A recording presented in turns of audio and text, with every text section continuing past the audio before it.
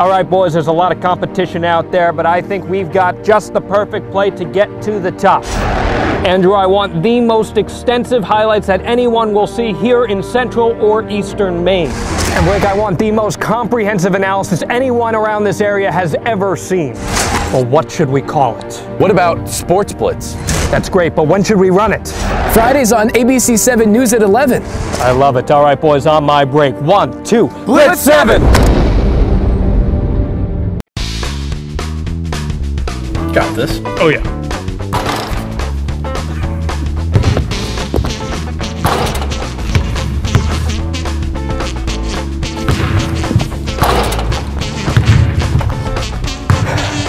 Maybe we should uh, just stick to talking about this.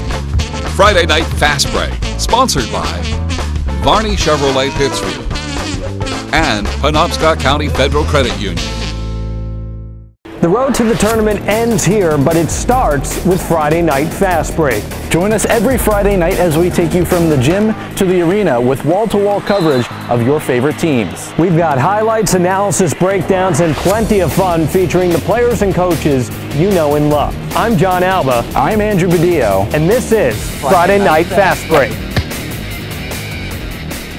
Sponsored by Varney Chevrolet Pittsfield and Penobscot County Federal Credit Union.